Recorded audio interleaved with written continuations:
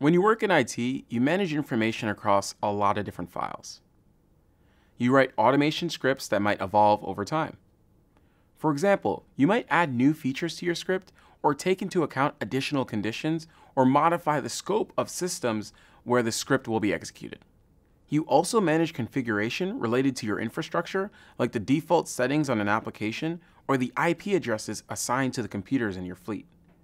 This information changes over time as the security requirements increase, the fleet grows, or new versions of software gets deployed. When trying to manage change in IT, it's super important to have detailed historical information for your organization's configuration files and automation code. This lets the administrator see what was modified and when, which can be critical to troubleshooting. It also provides a documentation trail that will let future IT specialists know why the infrastructure is the way it is and it provides a mechanism for undoing a change completely. This way, we don't have to undo changes from memory, and there's less chance of human error. We'll see this in action when we talk about rollbacks. Imagine this. Your team has added a new feature to a script that checks the health of all the computers that you're responsible for. The new check verifies that the firmware of the computer, also known as the UEFI, is updated to the latest version. When you roll this out, you suddenly realize that half the computers now say they're broken. After some investigation, you discover that the check needs to take into account different computer models. You might be tempted to do a quick code fix, push it to the affected machines right away, especially if it seems like an easy fix. But more often than not, quick fixes include their own bugs because we don't take the time to test the new code properly. So, after the first fix, you might end up doing a second or even third emergency push until things are really working correctly. To avoid these headaches, you can use a version control system to easily roll back your code to the previous version.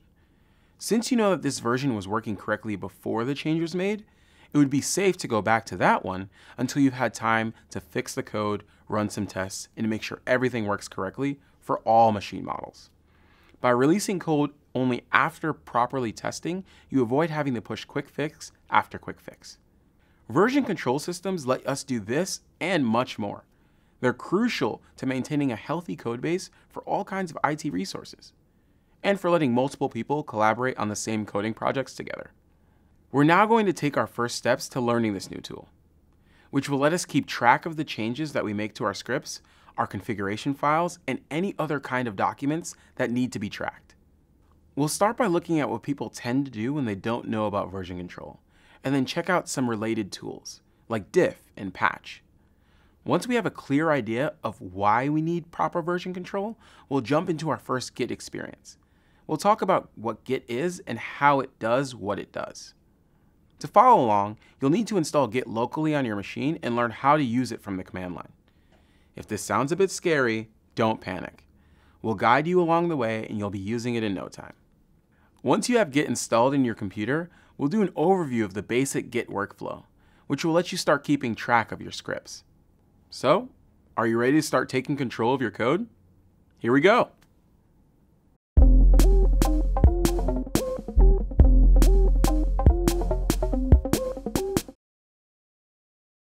Have you ever worked on a project that was developing over time, so you occasionally created copies of the work in case you wanted to go back to an earlier version? Maybe you were working in a team and every day you'd email a part of the work to the rest of the team. And then the other members on your team would add their own work and send it out to the whole team too. Or maybe you've worked on a very complex project that kept changing directions and you felt that some of the things that got removed one day might have to be added later on. So anytime you were about to delete a significant part, you made a copy of the whole thing just in case. If any of this sounds familiar, You've already worked on the most primitive form of version control, keeping historical copies. These copies let you see what the project was like before and go back to that version if you end up deciding that the latest changes were wrong. They also let you see the progress of the changes over time, and maybe even help you understand why a change was made. We say that this is primitive because it's very manual and not very detailed. First, you need to remember to make the copy. Second, you usually make a copy of the whole thing, even if you're only changing one small part. And third, even if you're emailing your changes to your colleagues, it might be hard to figure out at the end who did what, and more importantly, why they did it. But that said, the principle behind version control is the same. It lets us keep track of the changes in our files. These files can be code, images, configuration, or even a video editing project, whatever it is you're working with. Throughout this course, we'll see the many ways that Git helps us keep track of our changes, and also how we can use it to collaborate with others or revert changes. We'll use a bunch of terms that have special meanings in the world of version control. But don't let those intimidate you. In the end, all we're doing is having better control over our historical copies. So, say you have two copies of the same code made at different points in time. How can you compare them? Hop on over to the next video and you'll find out.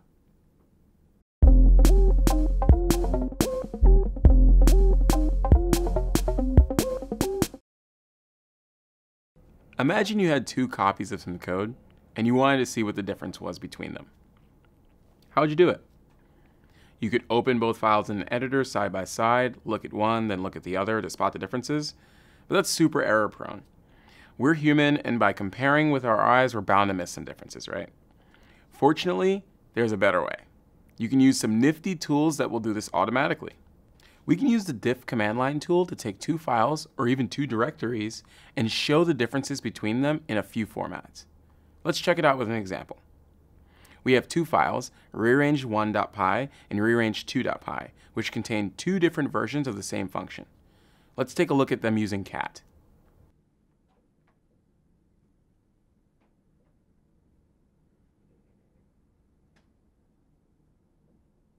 Can you spot the difference? Maybe you can, but it's not super obvious. Let's use the diff command so that we don't have to strain our eyes trying to spot it.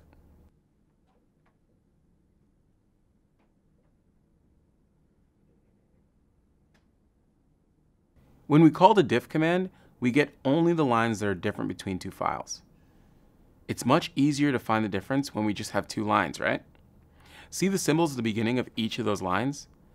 The less than symbol tells us that the first line was removed from the first file, and the greater than symbol tells us that the second line was added to the second file. In other words, the old line got replaced by the new one. In this example, we had one line that was replaced with a new one. This is a common change when modifying code, but not the only possibility. Let's check out another example.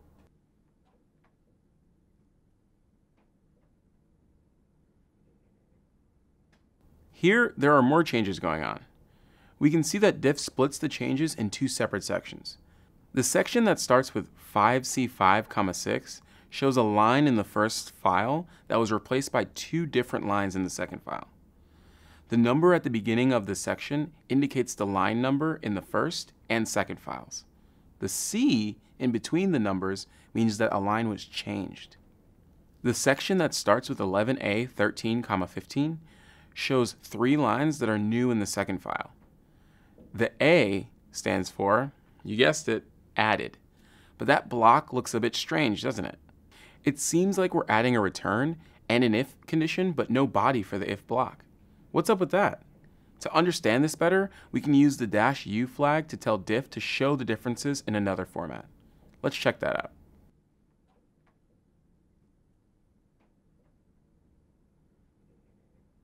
This unified format is pretty different from the one that we saw before. It shows the changed lines together with some context, using the minus sign to mark lines that were removed and the plus sign to mark lines that were added. The extra context lets us better know what's going on with the change that we're diffing. We can see that the new file actually has a completely new if block that's part of a chain of conditionals that looks very similar. And that's why with the diff output that we saw before, it was a little confusing which lines had been added. There are a lot of tools out there to compare files. Diff is the most popular one, but not the only one available.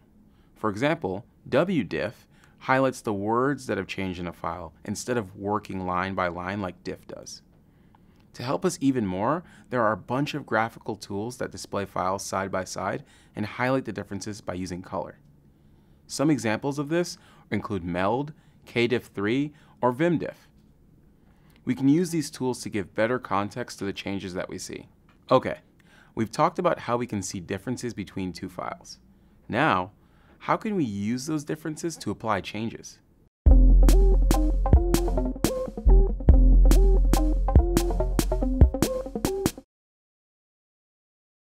Imagine a colleague sent you a script with a bug and asked you to help fix the issue. Once you understood what was wrong with the script, you could describe to them what they need to change.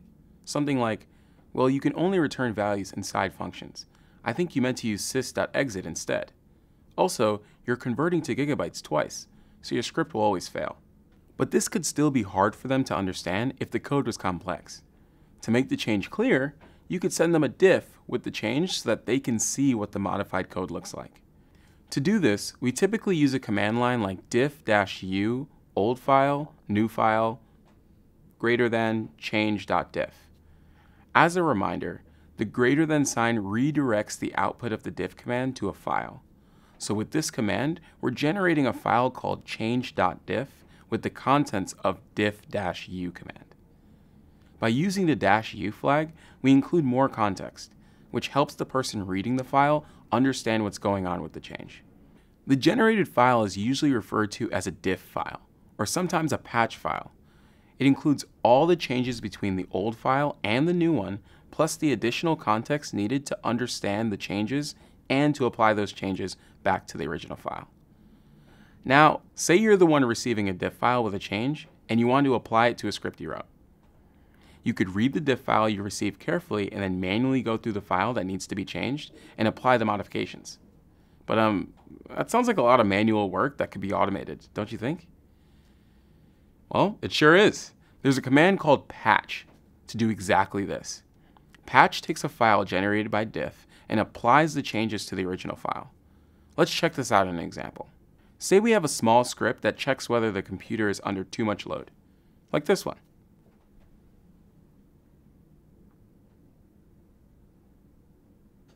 This script uses the psutil module to check the percentage of the CPU that's currently in use. When the load is above a threshold, in this case 75%, it prints a message with an error. When it's under the threshold, it says that everything's okay. Now, we've shared this script with a few colleagues, and one of them tells us that the script doesn't work correctly. Even if a computer is completely overloaded, the script will say that everything's okay. Our colleague is so helpful that they sent us a diff with the fix for our problem. Let's check that one out.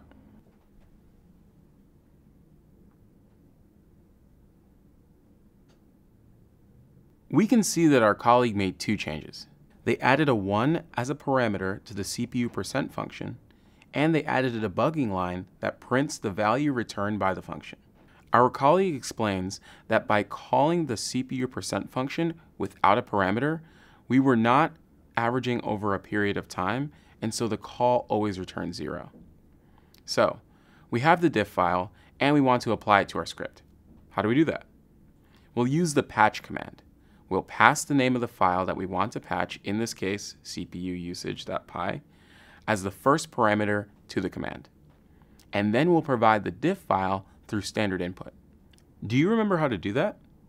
We'll use the less than symbol to redirect the contents of the file to standard input. Let's check this out.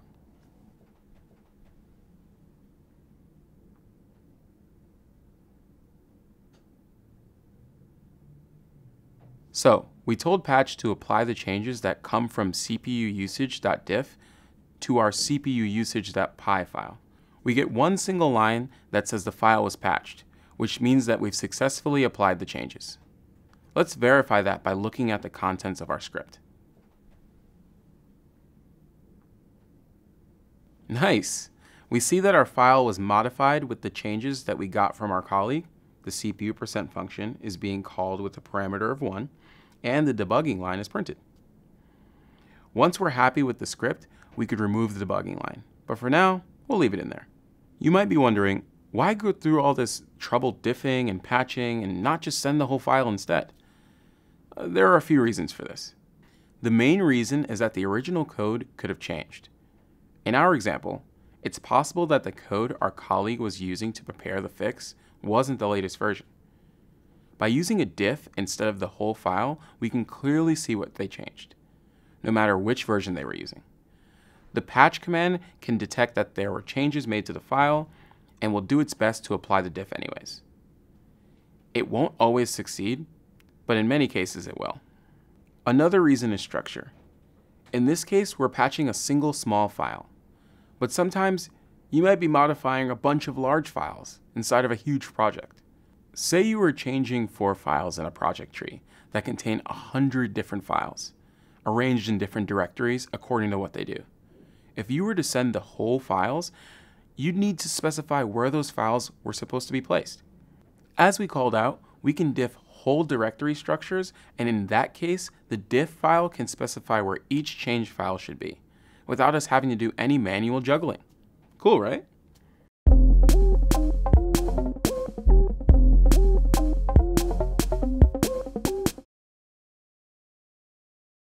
Imagine this. A colleague is asking our help with fixing a script named diskusage.py. The goal of the script is to check how much disk space is currently used and print an error if it's too little space for normal operation. But the script is currently broken because it has a few bugs. We'll help our colleague fix those bugs to demonstrate how to use diff and patch. Before we change anything, let's make a couple copies of the script. We'll add underscore original to one copy, which we'll keep unmodified and use for comparison, and underscore fix to the other copy, which we'll use to prepare our fix.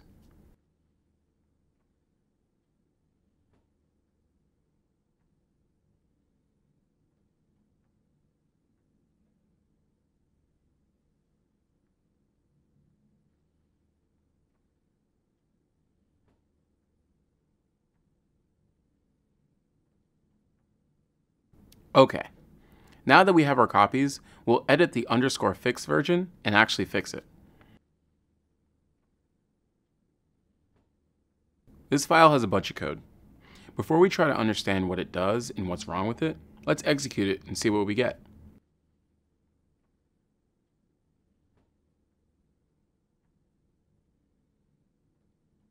Hmm, the Python interpreter isn't too happy.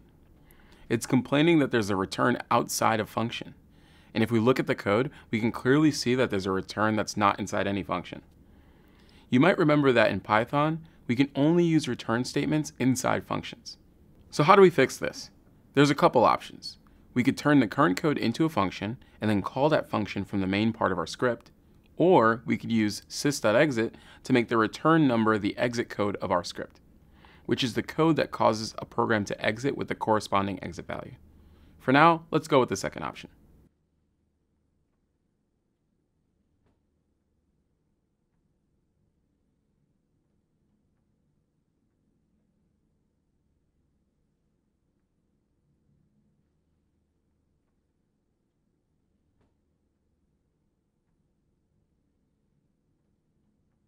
Okay, we've made the change.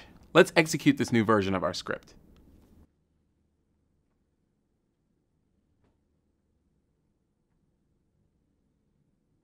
Darn. We fixed the syntax error, but now the script is telling us we don't have enough space on our disk.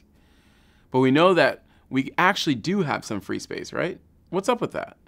If you look closely at the code, you might notice that the script is converting to gigabytes twice. The function call to check disk usage is passing 2 times 2 double star 30.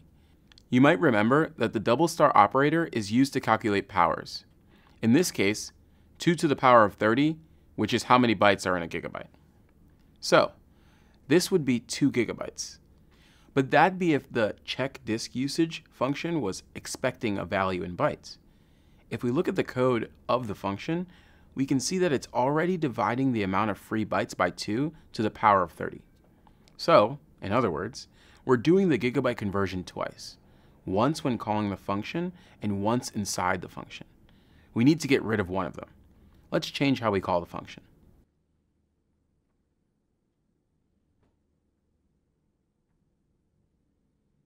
Okay, let's try it out again. Woohoo! It works now. Okay, now we need to send a fix to our colleague so that they can fix their script. To do that, we'll use the technique we just learned to generate a diff file, like this.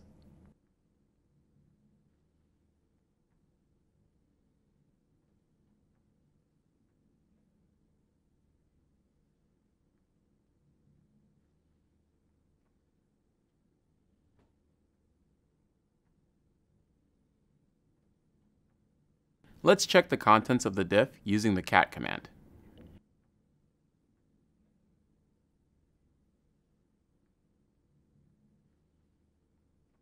Awesome! This seems to have what we want. So this is what we need to send to our colleague to have them patch their file. How would they do that? They would run the patch command like this.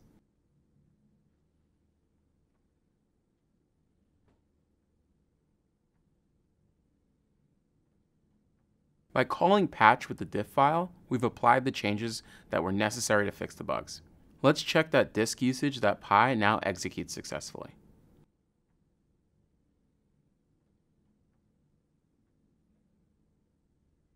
Success! So we've now seen how we can look at differences between files, generate diff files to gather together our changes, and then apply those changes using patch. But this is still a very manual process, where version control systems can really help.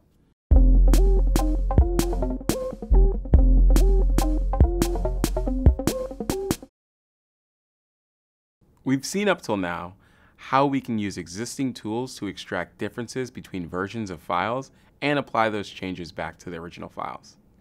Those tools are really useful, but most of the time we won't be using them directly. Instead, we'll use them through a version control system, or a VCS. A version control system keeps track of the changes that we make to our files. By using a VCS, we can know when the changes were made and who made them. It also lets us easily revert a change if it turned out not to be a good idea.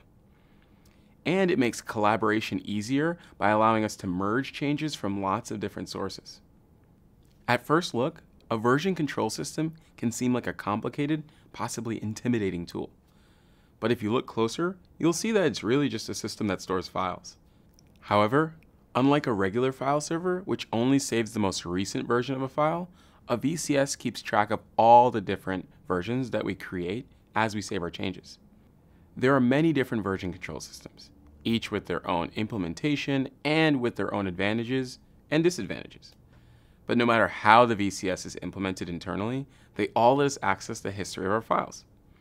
They let us retrieve past versions of the file or a directory and see who changed which files, how each file was changed, and when the file was changed. On top of this, we can make edits to multiple files and treat that collection of edits as a single change, which is commonly known as a commit. A VCS even provides a mechanism to allow the author of a commit to record why the change was made, including what bugs, tickets, or issues were fixed by the change. This information can be a lifesaver when trying to understand a complex series of changes or to debug some obscure issue. So be sure to record this extra info in your commits to be truly committed to better code. In any organization that produces software, a VCS is a key part of managing the code. Files are usually organized in repositories, which contain separate software projects or just group all related code. If there's a lot of people involved in developing software, some developers may have access to only some of the repositories. A single repository can have as little as one person using it, and it can go up to thousands of contributors. And, as we called out earlier, a version control system can be used to store much more than just code. We can use it to store configuration files, documentation, data files, or any other content that we might need to track. Because of the way tools like diff and patch work, a VCS is especially useful when tracking text files, which can be compared with diff and modified with patch. We can also store images, videos, or any other complex file formats in a VCS, but it won't be easy to check the differences between versions when comparing these file formats. And it might not be possible to automatically merge changes made to older versions of a file. All right, you now have a basic idea of what a version control system is and how it works. You might be asking yourself, do I really need this? Can't I just keep making backups of my code once in a while? We'll answer that in our next video.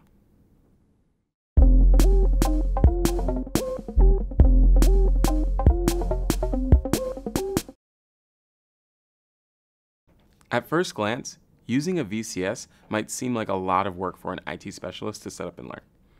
It might especially seem like overkill if you're the only member of your IT team that writes code, or maybe even the only member period. So can a VCS help even if you don't need to share your scripts or collaborate on them with others? The short answer is yes. A VCS can be invaluable even in a one-person IT department.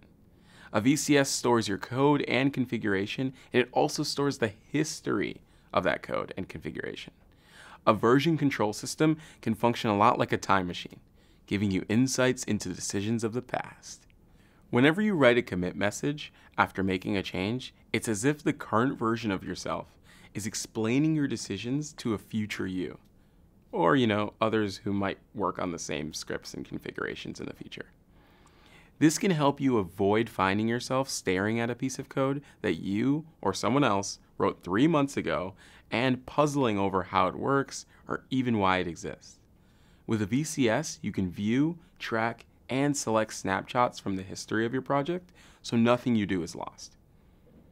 And since we can use a VCS to store both code and configuration files, we can make the overall IT systems more scalable and reliable. For example, Let's say you've stored the DNS zone file for your company in a VCS. And in case you don't remember, a DNS zone file is a configuration file that specifies the mappings between IP addresses and host names in your network. When you update the zone information, always use good explanatory commit messages. That way, you'll have access to meta information about your new IP addresses and host names present in the zone file, like when they were added, and for what purpose. If anything breaks after you add a new entry, you can rely on the VCS to tell you what the file looked like before the change. You can then revert to the old version quickly so you can fix the problem fast and figure out what went wrong later. This functionality enhances the reliability of systems you operate. Because of the audit trail provided by the VCS, you know exactly what version of the zone file to roll back to, which reduces the time it takes to fix the problem. It's generally better to quickly roll back first and stop errors before spending time figuring out what went wrong. You can code up the fix after the bleeding has stopped. Figuring out the bug might take up valuable time, or worse, your first attempt at a solution could have its own bugs. Let's look at a different example. The configuration for a DHCP daemon can be replicated in two or more machines, where one acts as a primary server and the other one acts as a standby machine. The standby machines won't do much while the primary is up. But if the primary goes down for any reason, a standby machine can become primary and start responding to DHCP queries. For this to work, the configuration files on all machines need to be identical. This is, because the DHCP protocol doesn't provide a way for standby machines to get an up-to-date version of the configuration files in the way DNS does. To deal with this, we can keep the up-to-date version of the DHCP configuration in a version control system and have the machines download the configuration from the VCS. This means all the machines will have the exact same files. That's already handy enough, but after using it for a while, you're bound to see other benefits. Say you get an urgent alert over the weekend, telling you that your DHCP server isn't responding to any queries. You look at the history of the changes and you find that one of the changes added on Friday evening included a duplicated entry, causing the server to misbehave. By using a VCS, you can easily roll back the change and have the servers back to health in no time. You might come across a second unexpected benefit when it's time to replace the server with a new one. By having all the server configuration in a version control system, it's much easier to automate the task of deploying a new server. Are you starting to see how useful version control systems can be? You might even be thinking of some situations when having your files in a VCS would have saved you a few headaches. As we said in the beginning, in this course, we'll use Git, which is one of the most popular version control systems in use today. Up next, we'll learn a bit about the history of Git and what makes it so special.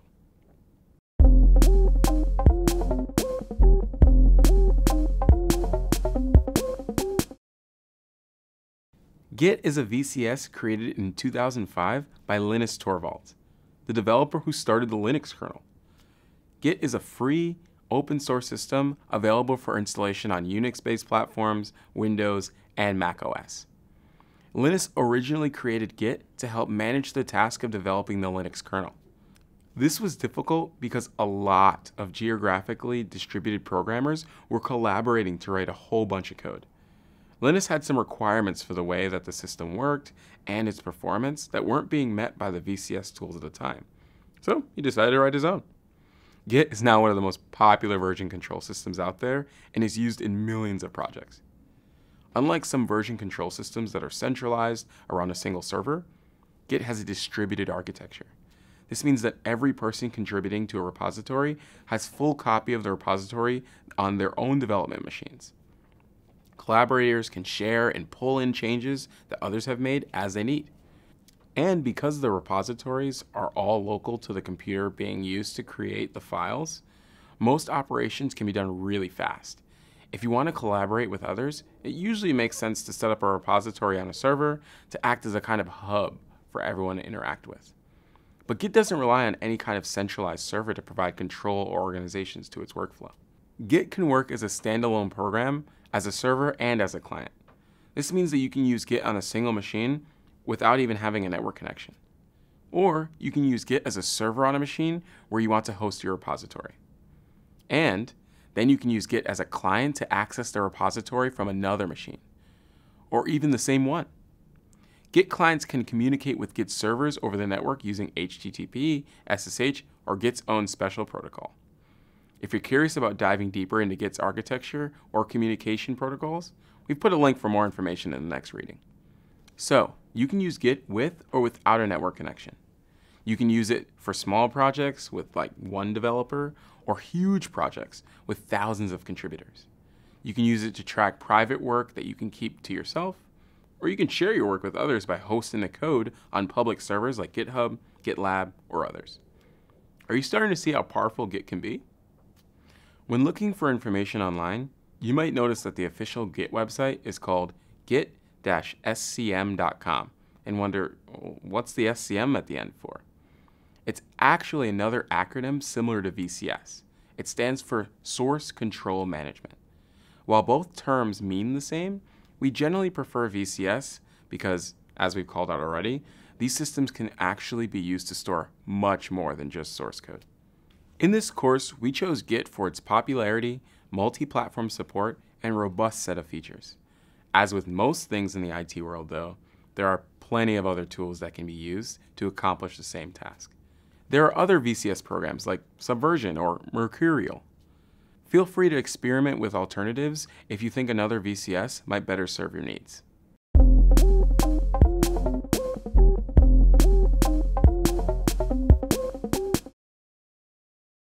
In this course, we'll cover many different things that you can do with Git.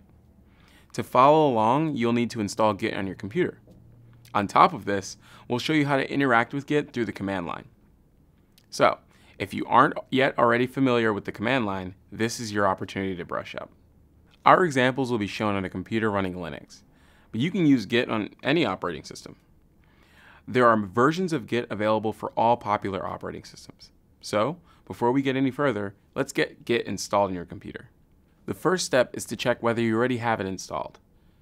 You can do this by running git dash dash version. If you're running a version number higher than 2.20, then you can just use that one. If you get an error message or an older version number, you'll need to install the current version. If you use a package management system like apt or yum on Linux, Chocolatey on Windows, or Homebrew on Mac OS, you can just install Git through that. If you don't use a package management system, then you can download the latest executable installer from the official website and deploy it on your computer. On Linux, installing and using Git is pretty straightforward. You can install it with the command apt install git or yum install git.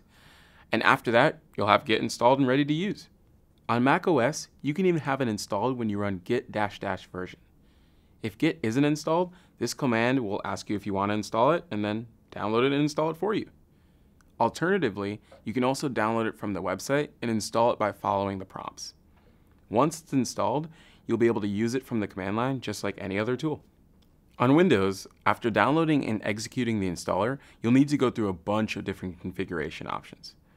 These options come with pre-selected defaults that usually make sense to just keep. Pay attention to the editor question though. You'll probably want to change the editor to one that you feel comfortable with, like Notepad++ or Atom. One interesting thing about the Windows installation is that it comes preloaded with an environment called MinGW64. This environment lets us operate on Windows with the same commands and tools available on Linux. So you can practice some Linux command line tools on your Windows machine. After installing Git on your Windows machine, you'll be able to use Git from the Linux command line. And if you selected the default option for the path environment question, you'll be able to also run it from the PowerShell command line. If you want to understand more about each option involved in the installation on Windows, check out the optional video where we'll talk about the available options and when you might want to select something different from the default. Throughout this course, we'll talk about how to do things from the command line. Some integrated developer environments, or IDEs, let us interact with Git through graphical interfaces. And it's fine to use those if you feel more comfortable with them. We'll focus on the command line because it's standard and also because once you've mastered the command line, you'll definitely be able to use any graphical tool out there. In the next video, we'll look into the options you can set when installing Git on a Windows machine. This video is optional. If you've already set up Git on your computer, you can jump ahead to the next video.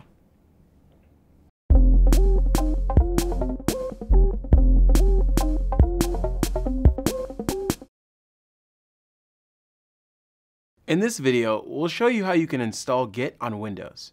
We'll dive into the different options that you can select and what they all mean.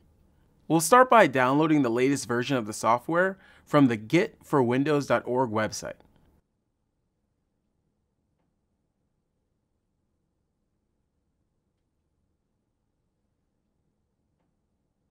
The software package we get includes a bunch of other tools that might come in real handy. It comes with a bash emulation environment, where we can run all the git commands we'll explain in this course, and a bunch of Unix-like utilities that we'll show in this and other courses.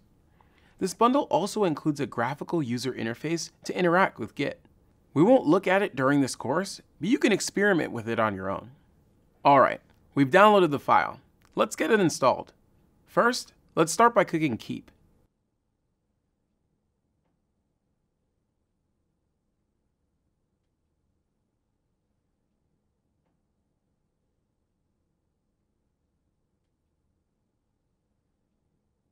The first window we get is the license of the software. Git is released under the GPL version 2 license, which is a free software license. This means that if we want, we can look at Git's code to learn how it works, and we can even modify it to do something different. All right, let's accept this license and continue with the setup. The first option we get is the installation path. We'll keep it as is. This window lets us select additional components to add to our Git installation. By default, Git integrates with the Windows Explorer to let us run Git command line or the Git graphical interface in the current folder. This software bundle comes with an extension for improving the support of how large files, like audio or video files, get stored in the version control system. It's a good idea to keep this enabled. The installer will also register the Git configuration files as files that should be opened with a text editor, and the .sh files as files that should be executed with bash. All of this makes sense, so we'll keep these options selected. If you want, you can also enable some of the other options, that will cause the icons to be displayed on the desktop, true type fonts to be used in the console, or software to automatically check for updates. All right, let's keep going. We get prompted for the name of the folder where we want to create all the shortcuts. Git is fine as the name for this, so let's continue. Okay, now's the time to choose the editor. This is the option that you'll most likely want to adjust. You want to select an editor that you're comfortable with. The installer already has a list of possible options that you could choose here, like Notepad++, Visual Studio Code, or Sublime Text. And we could even select any other editor we wanted by entering the path to the editor's executable file. For this course, we'll be using Atom in all of our examples, so let's choose Atom for this installation. Heads up, the bundle doesn't ship with any of these graphical editors installed. You'll need to install the one you want separately.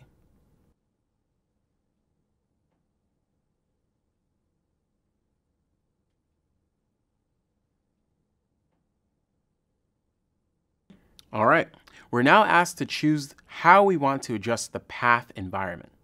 This option lets us decide how we want to execute Git from the command line. Selecting the first option will make Git only accessible through the embedded command line that is shipped with the bundle. The second option, the one that's pre-selected, allows us to execute Git from the embedded command line and from the Windows command prompt. The third option will add the Unix-like tools shipped together with Git to the Windows command prompt. If you choose this option, any commands that have the same name as those in the OS will then come from the bundle and not the basic OS. We'll keep the second option selected, as it's the one that's most convenient for us while not interfering with the local tools. This window lets us choose how we want to validate the SSL certificates used for HTTPS connections. We can choose to use the OpenSSL library that's shipped together with Git, or use the native Windows library. You'll want this second option if you need to interact with your company's internal systems. As we'll only be interacting with GitHub, we'll keep the default option selected.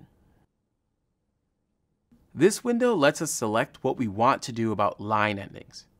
The characters used to indicate the end of the line are different between Windows, Linux, and macOS. So the Git software bundle lets us decide how we want to handle these differences. The default is to store Windows line endings on the local files, but use Unix line endings in the files stored by Git. This works well when you're using your Windows computer to collaborate with others using a different OS. The second option is to keep the line endings unchanged when copying the files locally, and use Unix line endings for the files stored in Git. This would work well if you're using a Unix-like OS or if you're only editing through Unix-like editors on Windows. The third option is to not do any conversions. This option doesn't work well if you're trying to work with people using a different OS. So it's only recommended if all your collaborators will be running the same OS as you. All right, let's keep the first one selected and move on. This window lets us configure the terminal emulator. The software bundle ships with its own terminal emulator that includes a bunch of nice features, like better Unicode support, and a long history of commands that we can scroll. We'll keep that one selected, but if you feel like you're more comfortable with the Windows default console window, you can choose that one. All right, we have a few extra options that we can choose to enable if we want. We'll keep these as they are. That way, we'll get the performance improvements of letting Git do file system caching. And we'll be able to use Git's credential manager. We don't need to use symbolic links in our repositories, so we'll leave that disabled. Finally, we get one last prompt before installing, which lets us choose which experimental features we want to select. The features offered here will change with time, as some get adopted and others get dropped. You can decide whether you want to work on the bleeding edge or you'd rather go with what's already well tested. We aren't feeling too adventurous today, so we won't enable the experimental features. We'll just click install here to get our installation started. All right, Git is installing on our machine. It'll take a while for it to complete. Once it's done, we'll have all the Git goodness at our fingertips.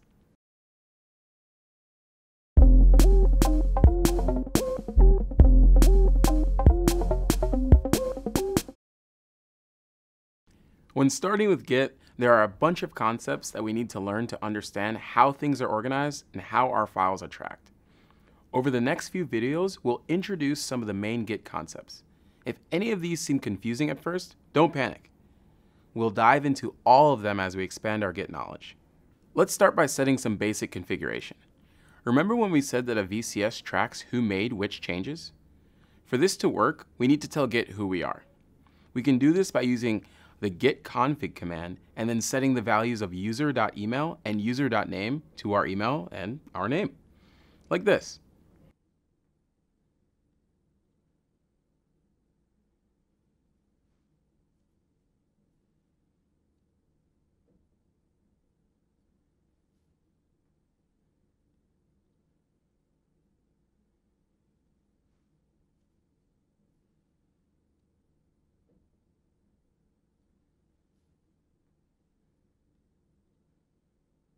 We use the dash dash global flag to state that we want to set this value for all Git repositories that we use.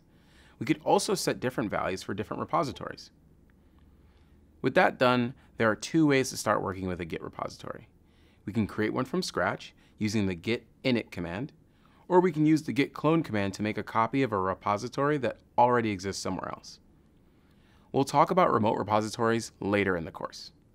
For now, let's start by creating a new directory and then a Git repository inside that directory. So, when we run git init, we initialize an empty Git repository in the current directory. The message that we get mentions a directory called .git. We can check that this directory exists using the ls-la command, which lists files that start with a dot. We can also use the ls-l.git command to look inside of it and see the many different things it contains. This is called a Git directory. You can think of it as a database for your Git project that stores the changes and the change history. We can see it contains a bunch of different files and directories. We won't touch any of these files directly. We'll always interact with them through Git commands. So whenever you clone a repository, this Git directory is copied to your computer. Whenever you run git init to create a new repository, like we just did, a new Git directory is initialized. The area outside of the Git directory is the working tree. The working tree is the current version of your project. You can think of it like a workbench or a sandbox where you perform all the modification you want to your files. This working tree will contain all the files that are currently tracked by Git and any new files that we haven't yet added to the list of tracked files. Right now, our working tree is empty. Let's change that by copying the diskusage.py file that we saw in an earlier video into our current directory. Okay, we now have a file in our working tree, but it's currently untracked by Git. To make Git track our file, we'll add it to the project using the git add command passing the file that we want as a parameter. With that, we've added our file to the staging area.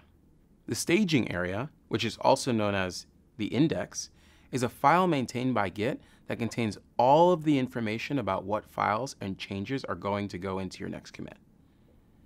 We can use the git status command to get some information about the current working tree and pending changes. Let's check that one out. We see that our new file is marked to be committed.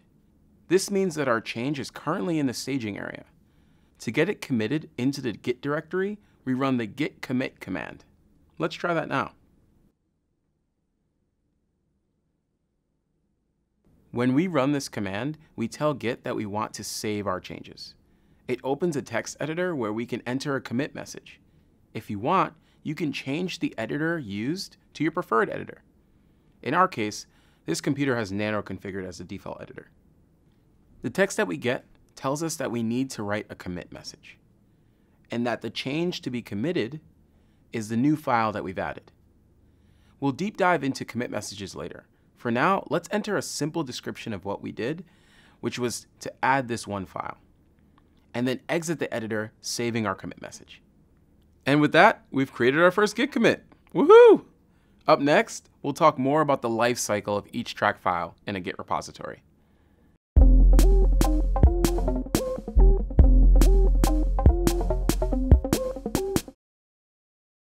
In our last video, we mentioned that any Git project will consist of three sections.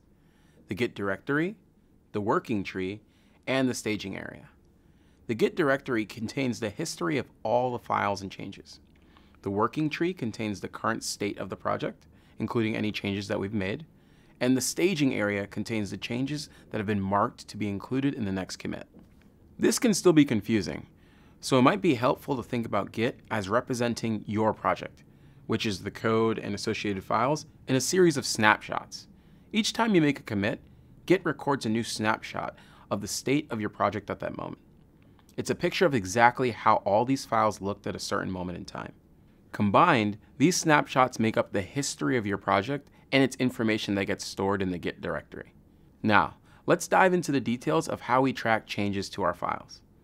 When we operate with Git, our files can be either tracked or untracked. Tracked files are a part of the snapshots, while untracked files aren't a part of snapshots yet. This is the usual case for new files. Each tracked file can be in one of three main states, modified, staged, or committed. Let's look at what each of these mean. If a file is in the modified state, it means that we've made changes to it that we haven't committed yet. The changes could be adding, modifying, or deleting the contents of the file. Git notices anytime we modify our files, but won't store any changes until we add them to the staging area. So, The next step is to stage those changes. When we do this, our modified files become staged files. In other words, the changes to those files are ready to be committed to the project. All files that are staged will be part of the next snapshot we take. And finally, when a file gets committed, the changes made to it are safely stored in a snapshot in the Git directory. This means that typically a file tracked by Git will first be modified when we change it in any way. Then it becomes staged when we mark those changes for tracking. And finally, it will get committed when we store those changes in the VCS. Let's see this in action in our example Git repo. First, let's check the contents of the current working tree using ls-l, and then the current status of our files using the git status command. When we run git status, git tells us a bunch of things, including that we're on the master branch. We'll learn about branches later in the course. For now, notice how it says that there's nothing to commit and that the working tree is clean. Let's modify our file to change that. For example, we'll just add periods at the end of the message that our script presents to the user.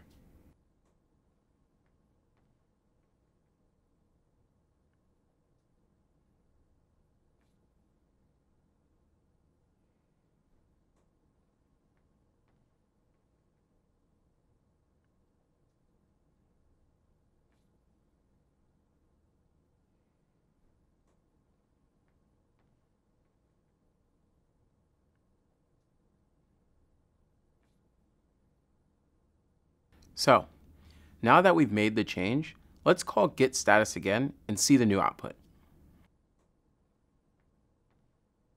Again, Git tells us a lot of things, including giving us some tips for commands that we might want to use.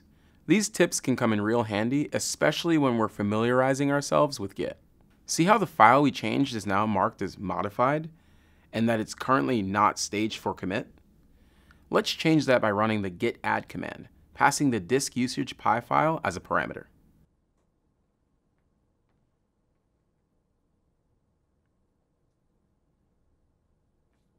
When we call git add, we're telling Git that we want to add the current changes in that file to the list of changes to be committed.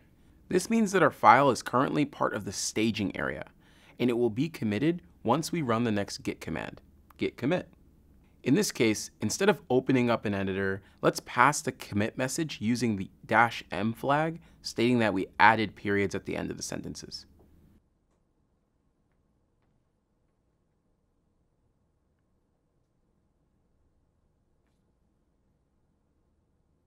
So, we've now committed our stage changes.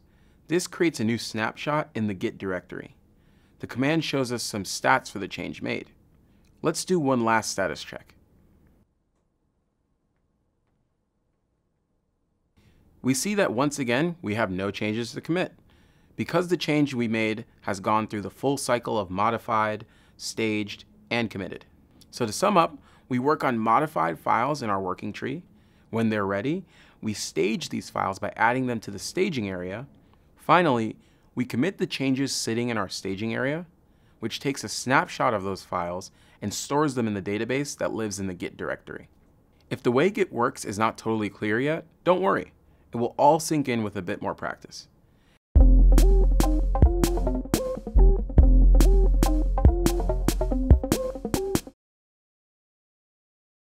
In earlier videos, we discussed some of the basic concepts involved in working with Git. We saw that each repository will have a Git directory, a working tree, and a staging area and we called out that files can be in three different states, modified, staged, and committed. Let's review these concepts one more time by looking at the normal workflow when operating with Git on a day-to-day -day basis. First, all the files we want to manage with Git must be a part of a Git repository. We initialize a new repository by running the git init command in any file system directory. For example, let's use the make dir command to create a directory called scripts and then change into it and initialize an empty Git repository in it. Our shiny new Git repository can now be used to track changes to files inside of it. But before jumping into that, let's check out our current configuration by using the git config-l command. There's a bunch of info in there, and we won't cover all of it. For now, pay special attention to the user.email and the user.name lines, which we touched on briefly in an earlier video. This information will appear in public commit logs if you use a shared repository. For privacy reasons, you might want to use different identities when dealing with your private work and when submitting code to public repositories. We'll include more details about changing this information in our next reading. Okay, our repo is ready to work, but it's currently empty. Let's create a file in it. We'll start with a basic skeleton for a Python script, which will help us demonstrate the Git workflow. As with any Python script, we'll start with the shebang line. For now, we'll add an empty main function, which we'll fill in later. And at the end, we'll just call this main function.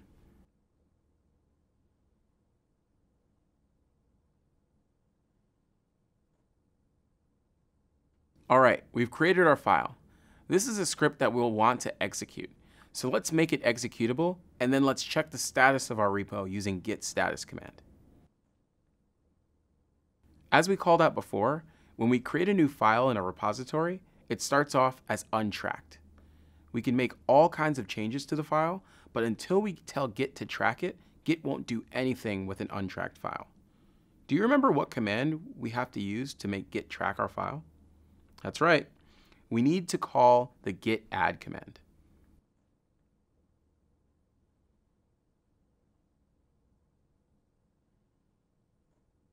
This command will immediately move a new file from untracked to stage status.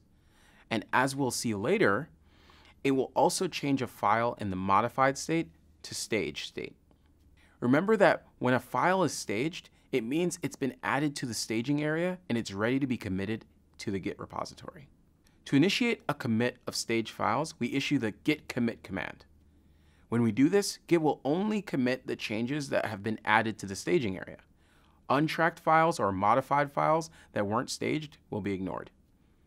Calling git commit with no parameters will launch a text editor. This will open whatever has been set as your default editor. If the default editor is not the one you'd like to use, there are a bunch of ways to change it. We'll include more info about changing the default editor in the next reading. For now, let's edit our message with Nano, which is the current default for this computer. We'll say that our change is creating an empty allchecks.py file, then save and exit. Voila! We've just recorded a snapshot of the code in our project, which is stored in the Git directory. Remember that every time we commit changes, we take another snapshot, which is annotated with a commit message that we can review later. Okay, that's how we add new files, but usually we'll modify existing ones.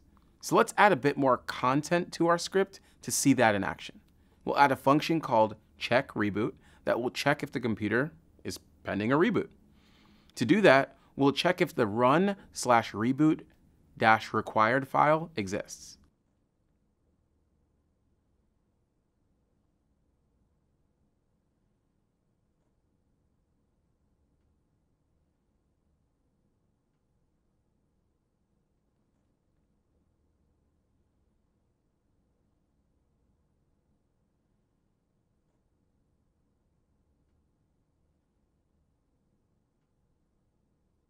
This is a file that's created on our computer when some software requires a reboot. And of course, since we're using os.path.exists, we need to add import os to our script.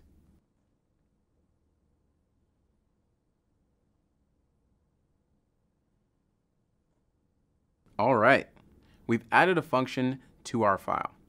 Let's check the current status using git status again. Our file is modified, but not staged. To stage our changes, we need to call git add once again.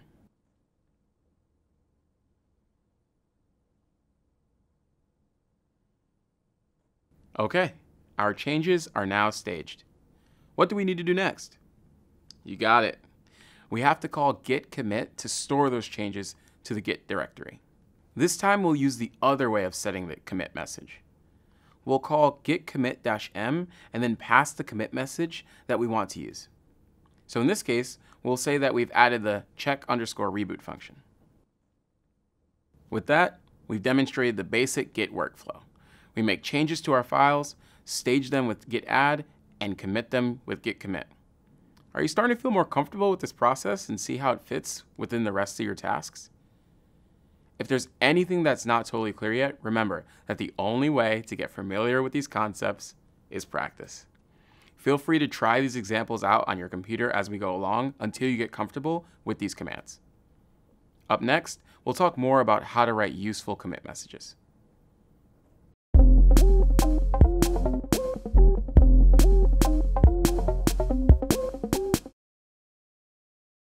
Writing a clear, informative commit message is important when you use a VCS.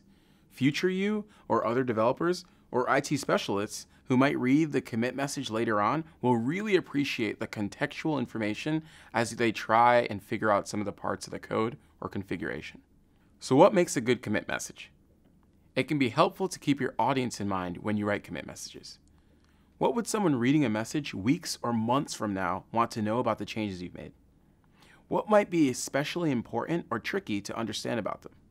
Is there extra information that might help the reader out, like links to design documents or tickets in your ticketing system? Similar to how style guides exist for writing code, your company might have specific rules for you to follow when you write commit messages. Even if they don't, it's good to use a few general guidelines to make sure your commit messages are as clear and useful as possible. A commit message is generally broken up into a few sections. The first line is a short summary of the commit, followed by a blank line. This is followed by a full description of the changes, which details why they're necessary and anything that might be especially interesting about them or difficult to understand. When you run the git commit command, Git will open up a text editor of your choice so you can write your commit message. A good commit message might look something like this.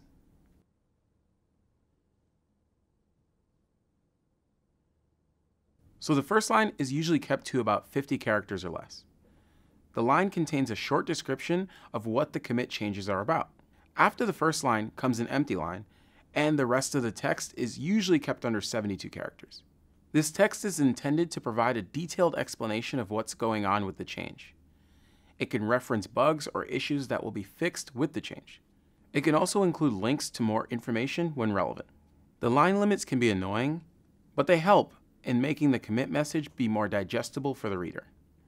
There's a git command used to display these commit messages called git log. This command won't do any line wrapping for us, which means that if we don't stick to the recommended line wrapping, long commit messages will run off the edge of the screen and be difficult to read. Now, take a look at the lines in the commit message that start with the pound symbol. Just like in Python, this symbol indicates that these lines are comments and won't get included in the commit message. Git shows them to us whenever we're writing a commit message, as a reminder of what files we're about to commit. Sometimes it can be tempting to just write something short like update, change, or fix as a description of our commit messages. Don't do it. It's super frustrating to go back to a repository's history and discover that there's not enough context to understand what was changed and why. It takes only a few more seconds to write a better description. This can be invaluable down the line. Following these guidelines can help make your commit messages really useful, and the investment of work now will really pay off later. If you're interested in learning more about Git commit style, there are plenty of resources out there to read, including the Linux kernel documentation itself, along with impassioned opinions from other developers. We'll include links to all of them in the next reading. We said that we can check the history of the commits of our project using the git log command. Let's go back to our example scripts directory where we've performed two commits and check out what git log has to say about those two commits.